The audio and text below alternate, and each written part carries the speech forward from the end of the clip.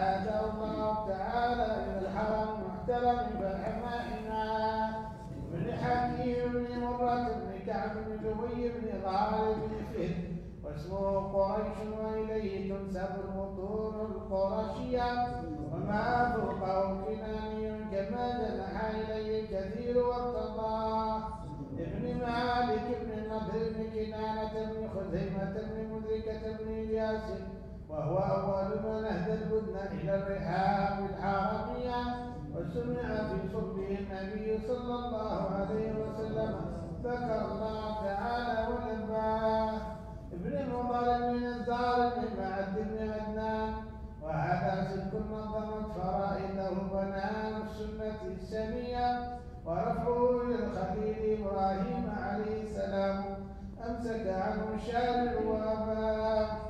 وعدنان بلا ريب عند ذوي العلوم النسبية. إلى ذبيه إسماعيل نسبته ومنتماه فأعظم به من عقد تألقت كواكبه الذرية. وكيف لا والسيد الأكرم صلى الله عليه وسلم رابطته المنتقى نسب تحسبه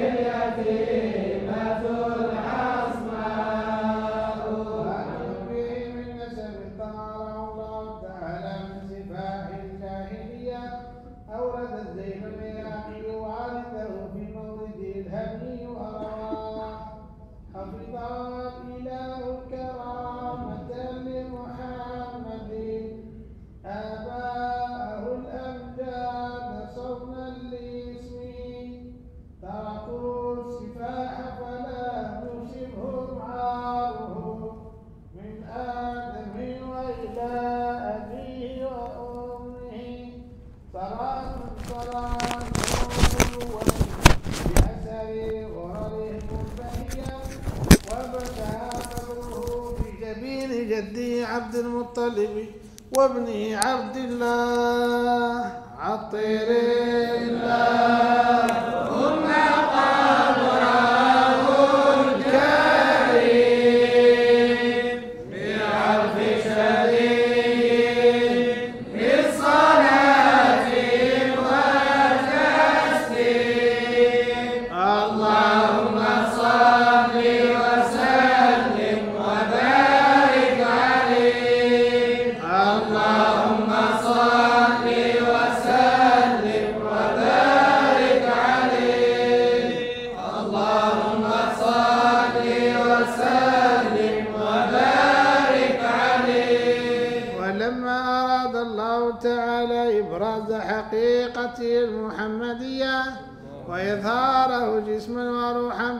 بصورته ومعناه.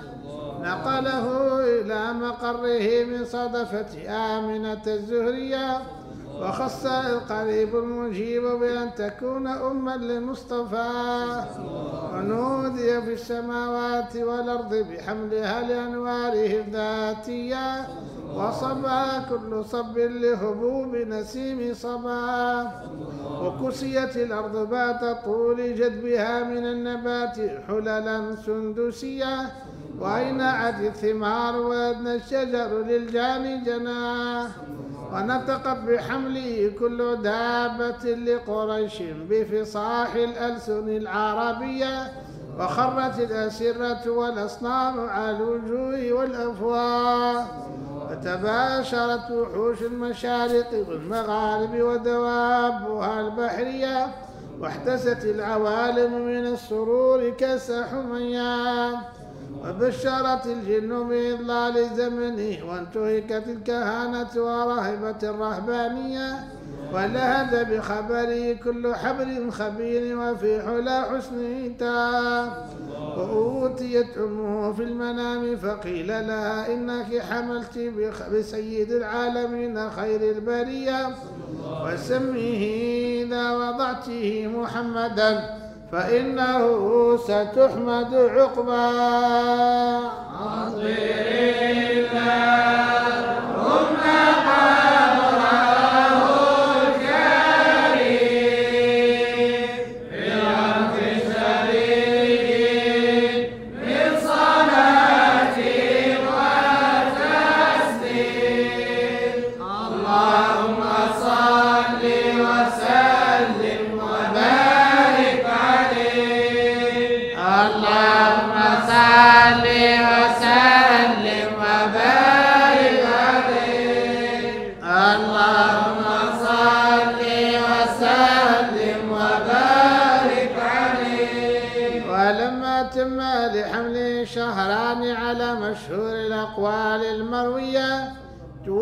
توفي بمدينة المنورة أبوه عبد الله وكان قد اجتاز بأخواله بني عدي من الطائفة النجارية ومكث فيهم شهرا سقيما يعانون سقمه وشكواه. ولما تم من حمله على الراجح تسعة أشهر قمرية وآن للزمان أن ينجلي عنه صداه. حضر أمه ليلة مولده آسية ومريم في نسوة من الحظيرة القدسية وأخذها المخاض فولدته صلى الله عليه وسلم نورا يتلألأ سنا. فقم أيها الرجي لنيل شفاعتي. قيام محب صادق القول والأدب قليل لمدح المصطفى الخط بالذهب على فضة من خط أحسن من كتب وأن تنهض الأشراف عند سماعه قياما صفوفنا جثيا على الركاب أما الله تعظيما له كتب اسمه. على عرشه يا رتبة سمت الرتاب أبان مولده عن طيب عصره يا طيب مبتدئ منه ومختتم بشرى لنا معشرا الإسلام إن لنا من العناية روح. غير منهدم تبشرت الأملاك حين ظهوره. وفاحت به الأرجاء شرقا ومغربا. ونادى لسان الكون طرا بأسره فأهلا وسهلا بالحبيب ومرحبا. مرحبا يا مرحبا بالحبيب المصطفى. مرحبا يا مرحبا بالحبيب المقتفى. مرحبا يا مرحبا مرحبا يا نور العين مرحبا يا مرحبا مرحبا جاد الحسين. الأمان الأمان الأمان يا رسول الله. الأمان الأمان الأمان يا حبيب الله.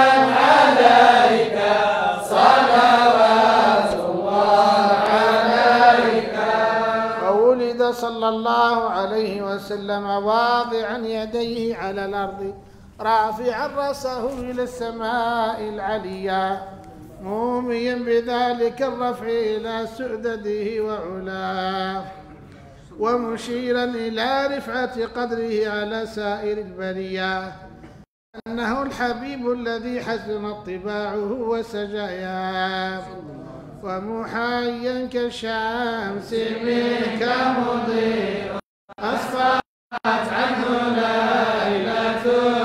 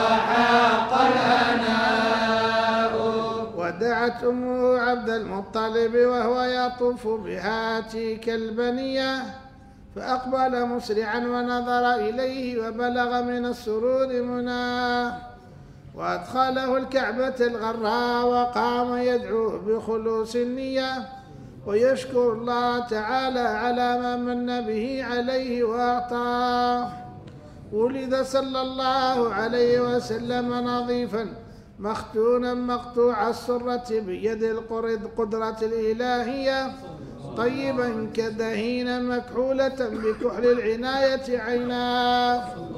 وظهر عند ولادته صلى الله عليه وسلم خوارق وغرائب غيبية إرهاصا لنبوته وإعلاما بأنه مختار الله تعالى ومجتباه. فزيدت السماء حفظا ورد عنها المردة وذو النفوس الشيطانية ورجمت نجوم النيرات كل رجيم في حال مرقاه وتدلت إليه صلى الله عليه وسلم الأنجم الزهرية واستنارت بنورها وهاد الحرم ورباه وخرج معه نور أضاء قصور الشام القيصرية فرآها من ببطاح مكة داره ومغناه وانصدع الإيوان بالمدائن الكسروية الذي رفع نشروان سمكه وسواه وسقط عرباسة من شرفاته العلوية وكسر سرير الملك كسرى لهول ما أصابه وعراه وخمدت النيران المعبودة بالممالك الفارسية بطلوع بدره المنير وإشراق محياه وغاضت بحيرة ساوة وكانت بين همذان وقم من البلاد العجمية وجفت الكف واكف موجها ثجاج بينابيعها تلك المياه. وفاض وادي السماوات وهي مفازة في فلاة وبرية. لم يكن بها من قبل ما ينقع للظمآن لها. وكان مولده صلى الله عليه وسلم بالموضع المعروف بالعراس المكية. والبلد الحرام الذي لا يعدد شجره ولا يختلى خلاه واختلف في عام ولادته صلى الله عليه وسلم وفي شهرها وفي يومها على أقوال للعلماء مروية. والراجح أنها قبيل فجر يوم الاثنين ثاني عشر شهر ربيع الأول من عام الفيل الذي صده الله تعالى عن الحرم وحماه ثم قبله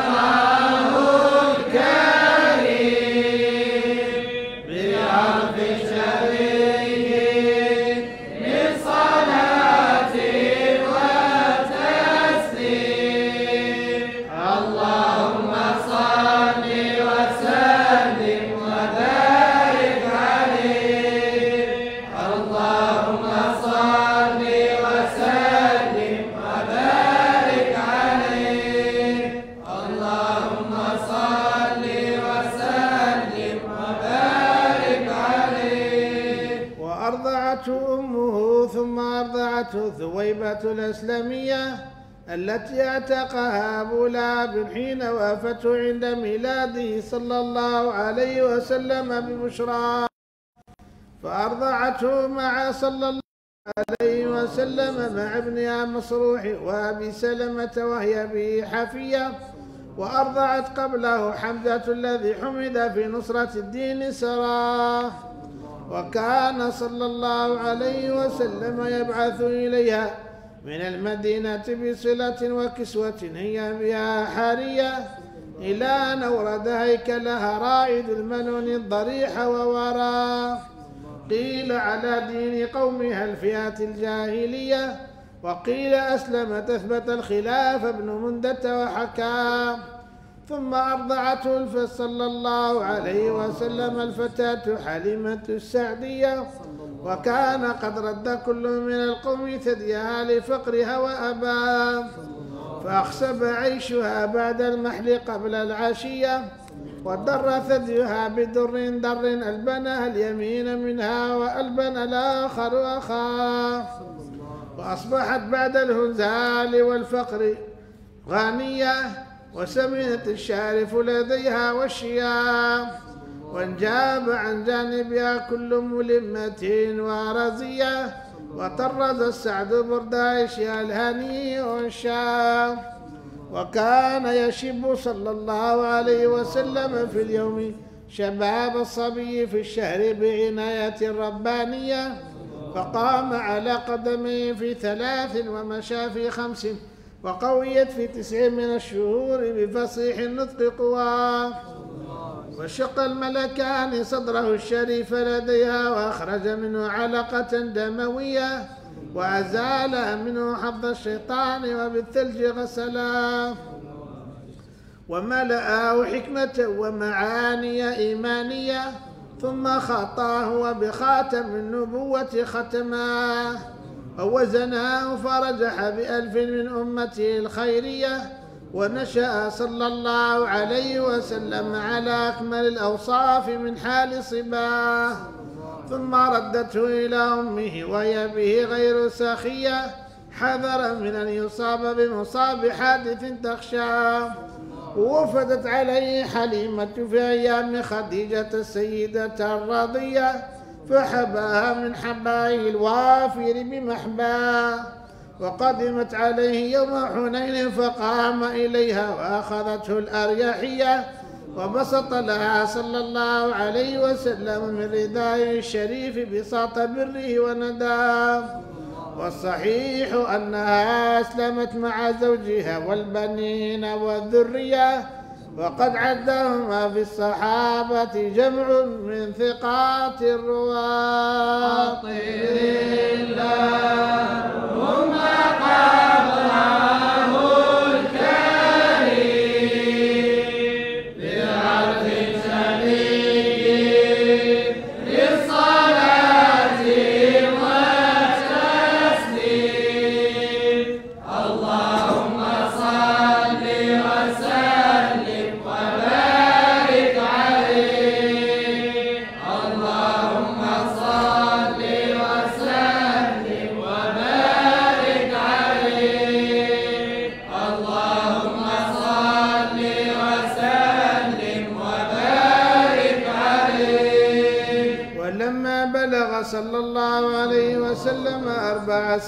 توفيت أمه الأمينة الراضية محبوة بعناية من اختاره واجتباه.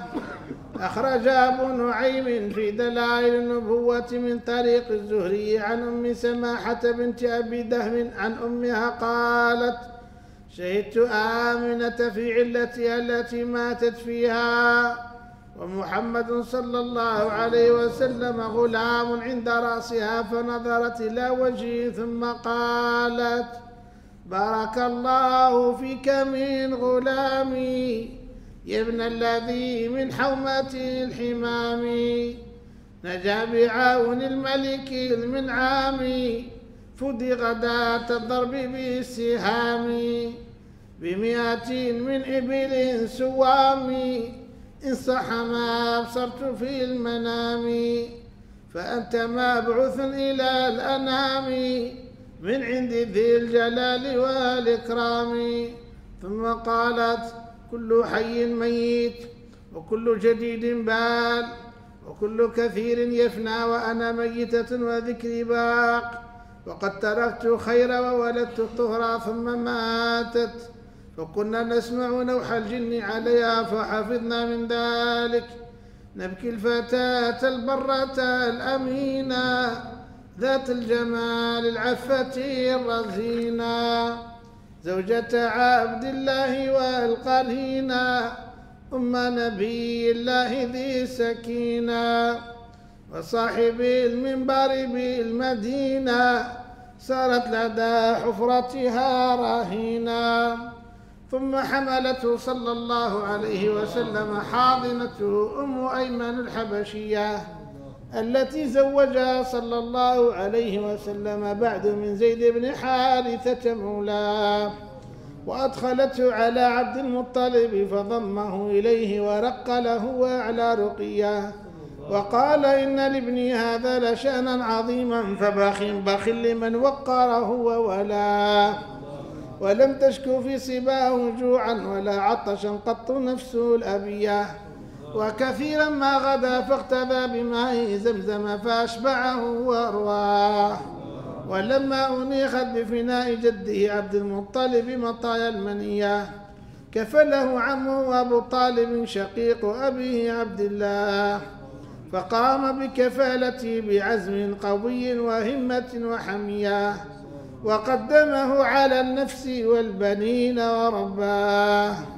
ولما بلغ صلى الله عليه وسلم اثنتي عشرة سنة رحل به عمه أبي طالب أبو طالب إلى البلاد الشامية.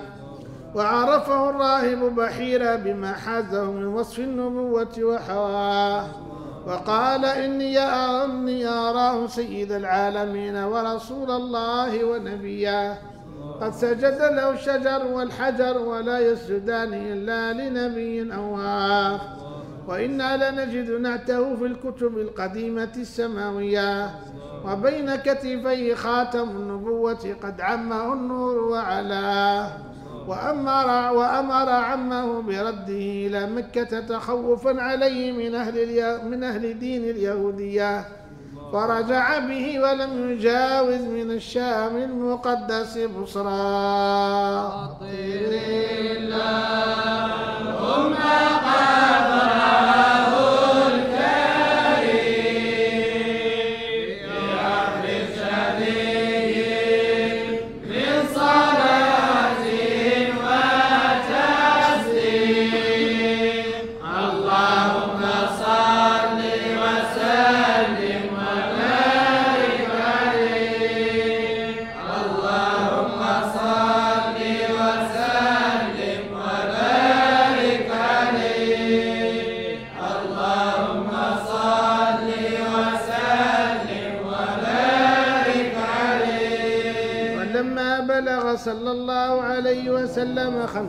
وعشرين سنة سافر إلى بصرى في تجارة لخديجة الفتية ومعه غلامها ميسرة يخدمه ويقوم بما عناه ونزل تحت شجرة لدى سومعة نسطور راهب النصرانية فعرفه إذ مال إليه ظلها الوارف وأواه وقال ما نزل تحت هذه الشجرة قط إلا نبي ذو صفات نقية ورسول قد خصه الله تعالى بالفضائل وحباه. ثم قال لميسرة في عينيه حمرة استظهارا للعلامة الخفية؟ فأجابه بنعم فحق لديه ما ظنه وتوخاه. وقال لميسرة لا تفارقه وكن معه بصدق عزم وحسن طوية فإنه ممن أكرمه الله تعالى بالنبوة واجتباه. ثم عاد إلى مكة فرأته خديجة مقبلة وهي, وهي بين نسوة في علية وملكان على رأسه الشريف من ضح الشمس قد أضلاه وأخبرها ميسرة بأنه رأى ذلك في السفر كله وبما قاله الراهب وأودعه إليه من الوصية وضاعف الله في تلك التجارة ربحها ونماه فبان لخديجة بما رأت وسمعت أنه رسول الله إلى البرية فخطبته لنفسها الزكية لتشم من الإيمان به طيب ريام فأخبرها فأخبر أعمامه بما دعته إليه هذه البرة التقية فرغبوا فيها لفضل ودين وجمال وحسب كل من القوم يهوى.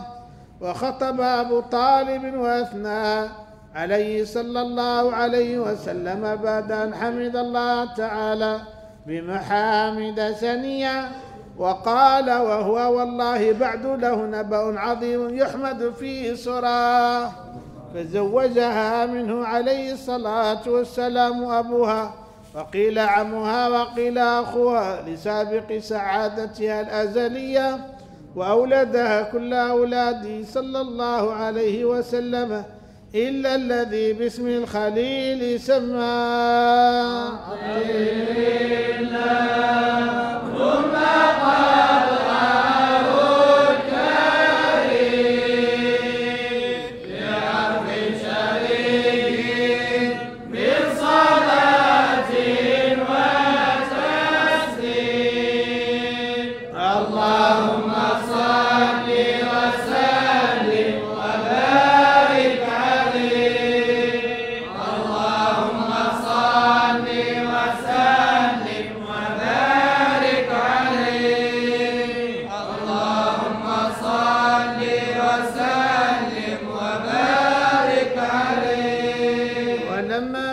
صلى الله عليه وسلم خمسا وثلاثين سنة بنت قريش الكعبة لانصداعها بالسيول الأبطحية وتنازعوا في رفع الحجر الأسود فكل أراد رفعه ورجاه.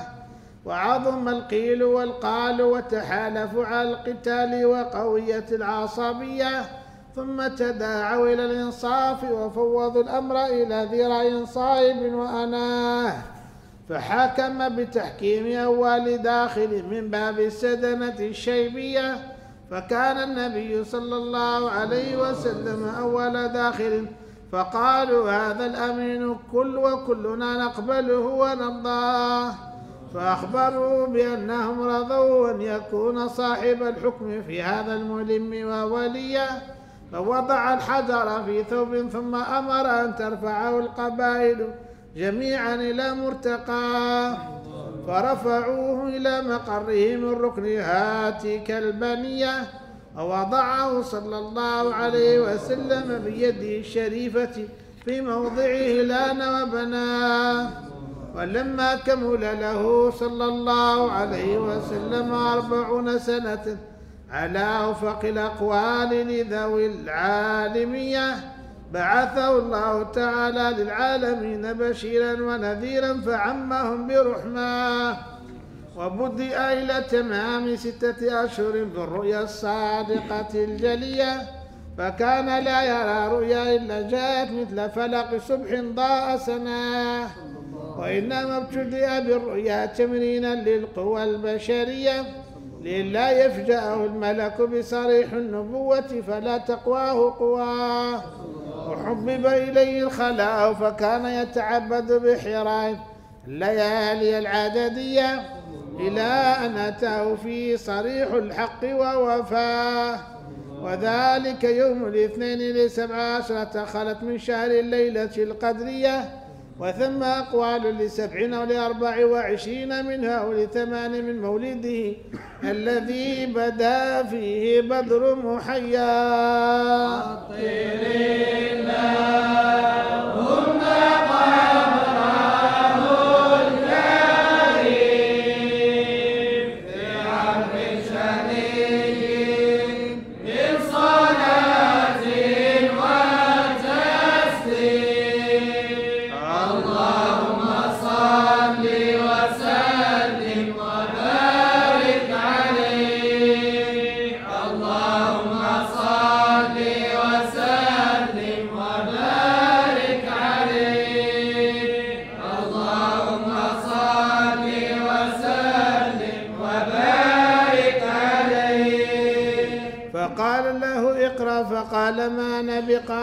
فغطه غطة قوية.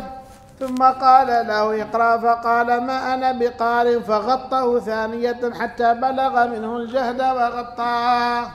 ثم قال له اقرأ فقال ما أنا بقارئ. فغطاه ثالثة ليتوجه إلى ما سيلقى إليه بجمعية ويقابله بجد واجتهاد ويتلقاه ثم فتر الوحي ثلاث سنين أو ثلاثين شهرا ليشتاق إلى انتشاق هاتك النفحات الشذية. ثم أنزلت عليه يا أيها المدثر وجاءه جبريل بها وناداه فكان لنبوته بتقدم اقرأ باسم ربك شاهد على أن لا السابقية والتقدم على رسالته بالبشارة والنذارة لمن دعاه وأول من آمن به من الرجال أبو بكر صاحب الغار والصديقية ومن الصبيان علي ومن النساء خديجة التي ثبت الله تعالى بها قلبه ووقاه. ومن الموالي زيد بن حارثة ومن الأرقاء بلال الذي عذبه في الله أمية وأولاه مولاه وأبو بكر من العتق ما أولاه. ثم أسلم عثمان وسعد وسعيد وطلحة وابن عوف وابن العمة صافية وغيرهم ممن أنهله الصديق رحيق التصديق وسقاه وما زالت عبادته صلى الله عليه وسلم وأصحابه مخفية حتى أنزل عليه فاصدع بما تؤمر فجار بدعاء الخلق إلى الله. عطير اللهم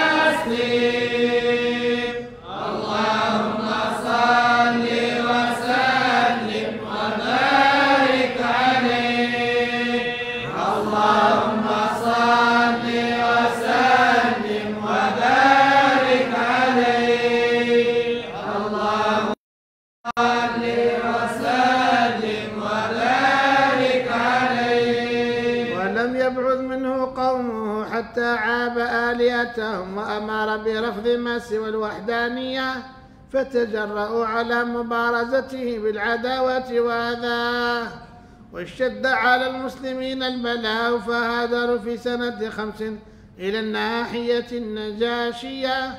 وحدب عليه عمه أبو طالب فهابه كل من القوم وتحماه وفرض عليه قيام بعض الساعات الليلية ثم نسخ بقوله تعالى فاقرأوا ما تيسر منه وأقيموا الصلاة. وفرض عليه ركعتان بالغداة وركعتان بالعشية. ثم نسخ بإيجاب الصلوات الخمس في ليلة مسراه ومات أبو طالب في نصف شوال من عاشر البعثة وعظم بموته الرزية. وتلته خديجة بعد ثلاث وشد البلاء على المسلمين وثق عراه وأوقعت قريش به صلى الله عليه وسلم كل آذية. وأما الطائف يدعو ثقيفا فلم يحسنوا بالإجابة قراه وأغروا به السفهاء والعبيد فسبوه بألسن بذية. ورموه بالحجارة حتى خضبت بالدماء نعلاه ثم عاد إلى مكة حزينا فسأله ملك الجبال في إهلاك أهلها ذوي العصبية فقال إني أرجو أن يخرج الله من أصلابه من من أصلابهم من يتولاه ثم أسري بروحي وجسده يقظة من المسجد الحرام إلى المسجد الأقصى ورحابه القدسية. وعرج به إلى السماوات فرأى آدم في الأولى وقد جل له الوقار وعلاه ورأى في الثانية عيسى بن البتول البرة النقية وابن خالته يحيى الذي أوتي الحكم في حال صباه ورأى في الثالثة يوسف الصديق بصورته الجمالية وفي الرابعة إدريس الذي رفع الله مكانه أعلاه وفي الخامسة هارون المحبب في الأمة الإسرائيلية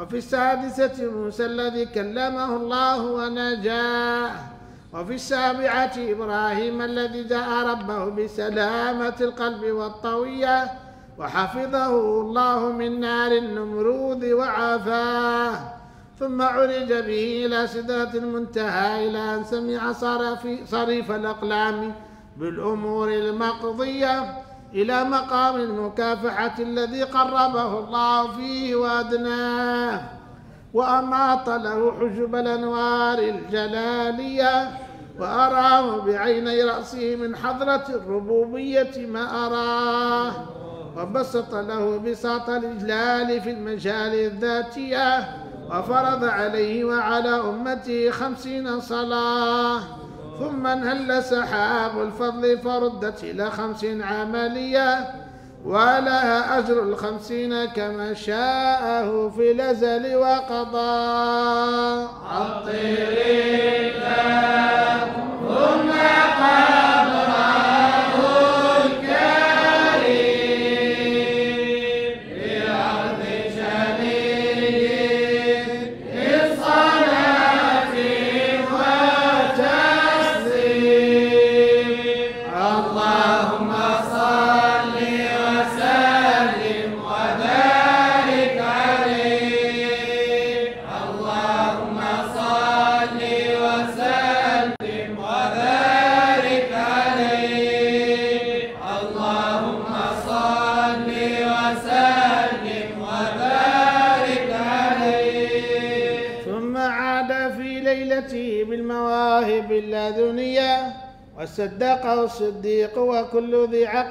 بمصرى فصفي الليلة التي كان للمختار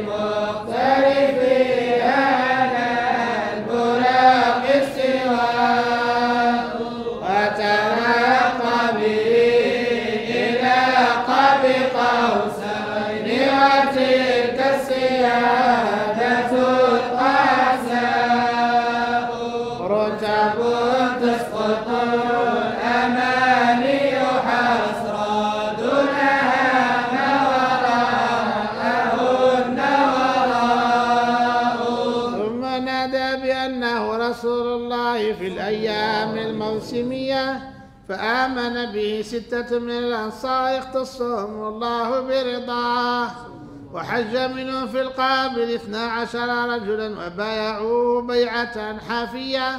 ثم انصرفوا وظهر الإسلام بالمدينة فكانت معقله ومواه وقدم عليه في الثالثة سبعون أو خمسة أو ثلاثة أو اثنان من القبائل الأوسية والخزرجية.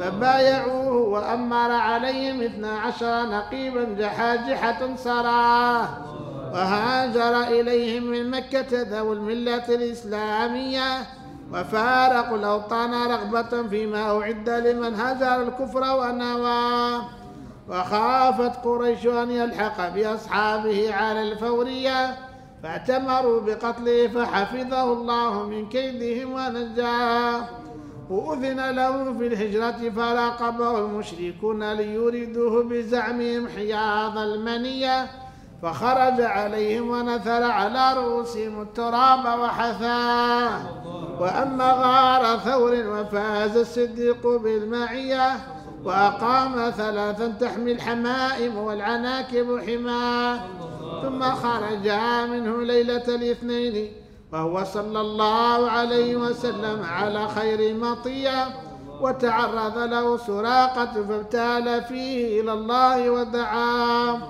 فساخت قوائم يعبو به في الأرض الصلبية وسأله الأمان فمنحه إياه. ومر صلى الله عليه وسلم بقديد على أم معبد الخزاعية وأراد ابتياع لبن أو لحم منها فلم يكن خباؤها لشيء من ذلك حواه فنظر إلى شاة في البيت قد خلفها الجهد عن الراعية فاستأذنها في حلبها فأذنت وقالت لو كان بها حلب لأصبناها فمسح صلى الله عليه وسلم ضرعها ودعا الله مولاه ووليه. فدرت وحلب وسقى كل من القوم وأرواه ثم حلب وملا الإناء وغادره لديها آية جلية. وجاء أم معبد ورأى اللبن فذهب به العجب إلى أقصاه.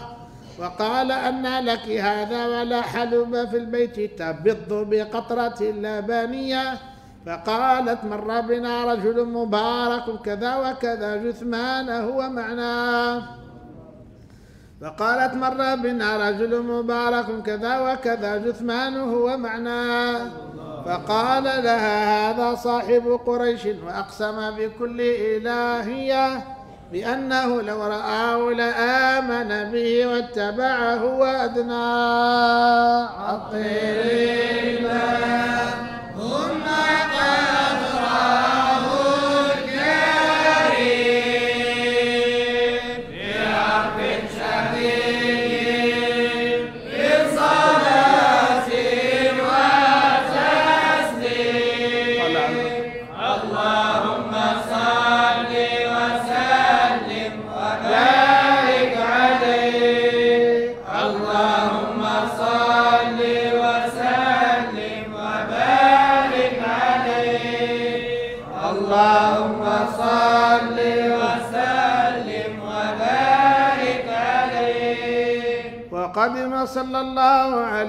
وسلم المدينة يوم الاثنين ثاني عشر ربيع الأول وأشرقت به أرجاؤها الزكية وتلقاه الأنصار ونزل بقباء وأسس مسجدها على تقواه هذا هو المختار والبدر الذي كل البدور خضان تحت هلاله.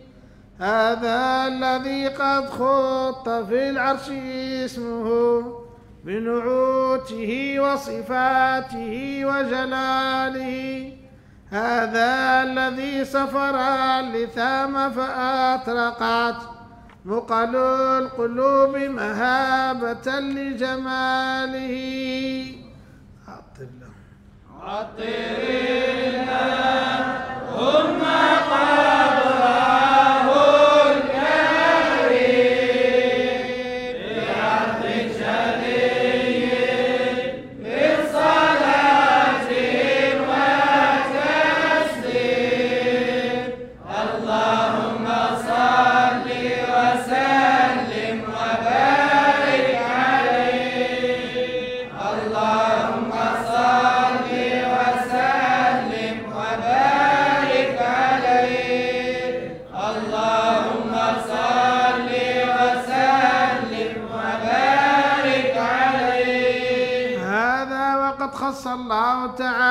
هاتك الذات الشريفة المحمدية بشمائل تتشنف من سماعها الأذان وتتعطر بذكرها الأفواه. فتنازى في ذاته ومعاني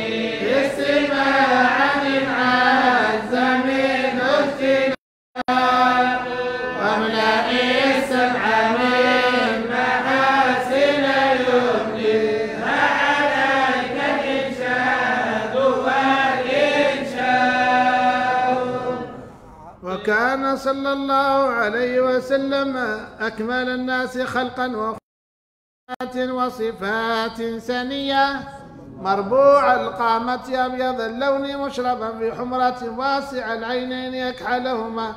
أهدب الأشفار قد منح الزجاج حاجبا. مفلج الأسنان ضليع الفم حسنه واسع الجبين.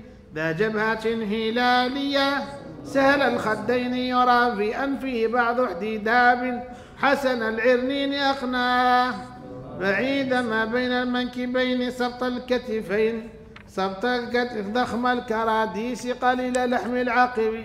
كث اللحية عظيم الرأس. شعره إلى الشحمة الأذنية. وبين كتفيه خاتم النبوة. قد عماه النور وعلاه ورع وعرقه صلى الله عليه وسلم كاللؤلؤ. وعرفه أطيب من النفحات المسكية. يتكفأ في مشيته كأنما ينحط من صبب ارتقى وكان يصافح المصافح بيده فيجد منها سائر اليوم رائحة عبهارية. ويضعها على رأس الصبي فيعرف مسؤوله من بين الصبية ويدرى يتلألأ وجهه الشريف تلألؤ القمر في الليلة البدرية. يقول نعيته لم أرى قبله ولا بعده مثله ولا بشر يرى. منزه عن شريك في محاسنه فجوهر الحسن فيه غير منقسم ولم يفتتن به كيوسف لغلبة الجلال على صورته الجمالية. فلم يستطع أحد أن يمعن النظر في مرآة. وكان صلى الله عليه وسلم شديد الحياء والتواضع يخسف نعله ويرقع ثوبه ويحلب شاته ويسير في خدمة أهله بسيرة سرية. ويحب المساكين ويجلس معهم ويعود مرضاهم. ويشيع جنائزهم ولا يحقر فقيرا أدقعه الفقر وأشواه. ويقبل المعذرة ولا يقابل أحدا بما يكره ويمشي مع الأرملة وذوي العبودية ولا يهاب الملوك ويغضب لله ويرضى لرضاه ويمشي خلف أصحابه ويقول خلوا ظهري الملائكة الروحانية ويركب البعير والفرس والبغل والحمار الذي بعض الملوك إليه يهداه ويعصب على بطنه الحجر من الجوع وقد أتي مفاتيح الخزائن الأرضية وراودته الجبال بأن تكون له ذهبا فأبى. وكان صلى الله عليه وسلم يقل اللغو ويبدأ من لقيه بالسلام. ويطيل الصلاة ويقصر الخطب الجموعية ويتألف أهل الشرف ويكرم أهل الفضل ويمزح ولا يقول إلا حقا يحبه الله تعالى ويرضاه وها هنا وقف بنا جواد المقال عن اضطراد في الحلبة البيانية وبلغ ذاعن الإملاء في فدافد الإيضاح منتهى. عطر الله ثم قبره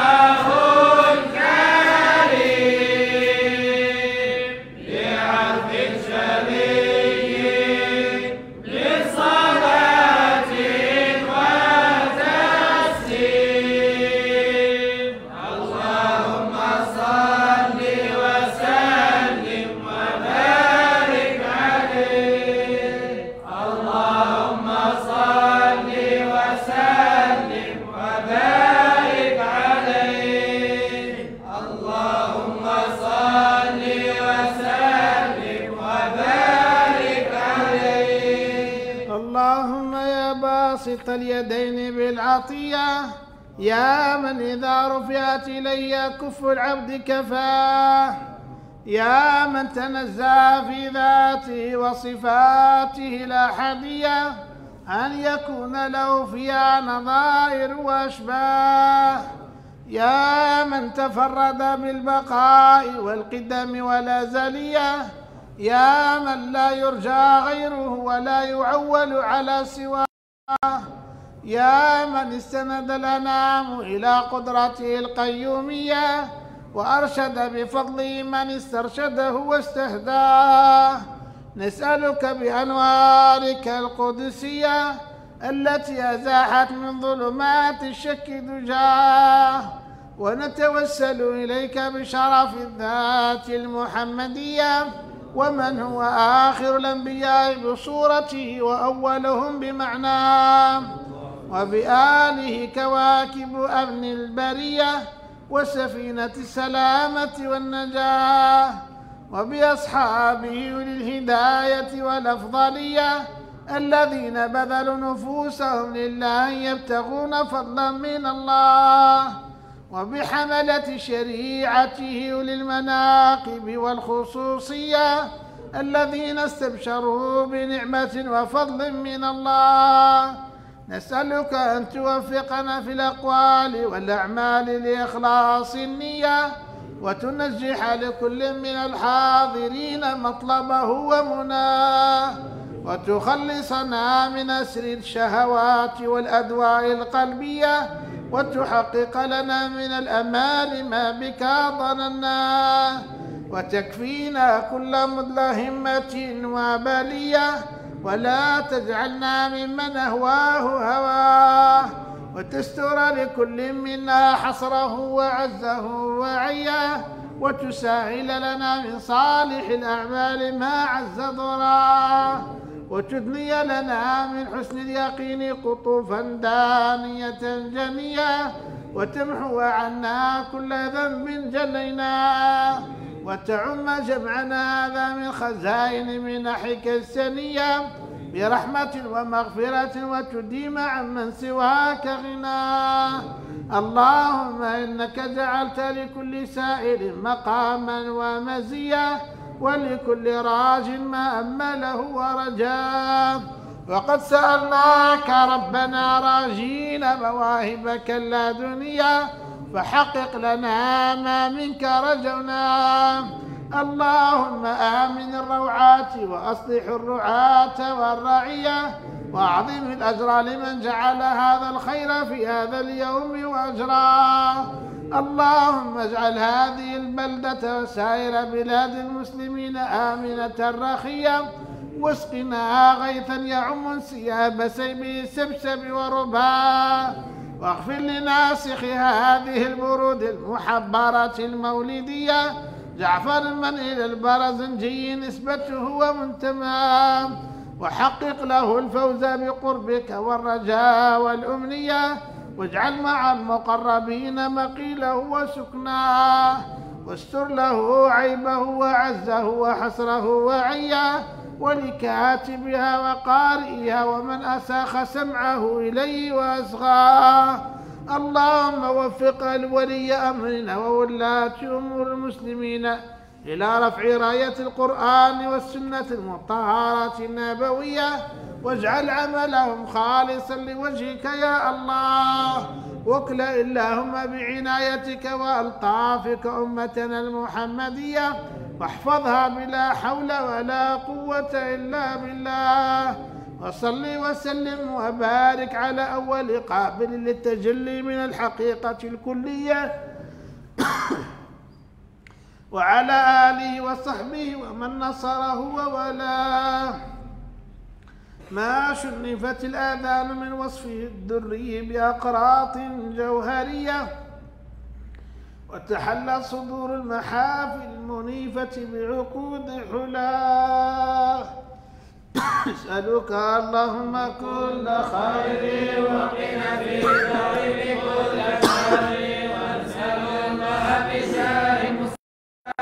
وآله